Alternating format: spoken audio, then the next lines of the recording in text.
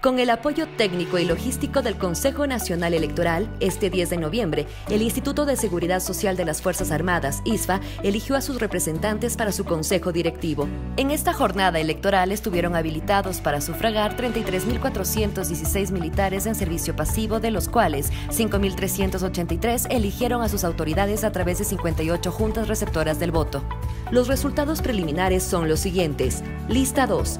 Cadena Gudiño Fernando y sus dos suplentes. Robalino Salto Juan Carlos y sus dos suplentes. Segovia Calle Napoleón y sus dos suplentes.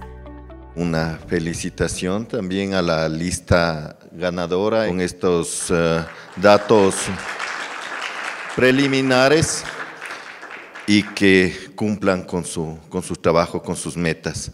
Una felicitación al Tribunal Electoral y mi agradecimiento especial a los funcionarios del Consejo Electoral, que para eso estamos, para servir al país. Consejo Nacional Electoral, confianza y participación en democracia.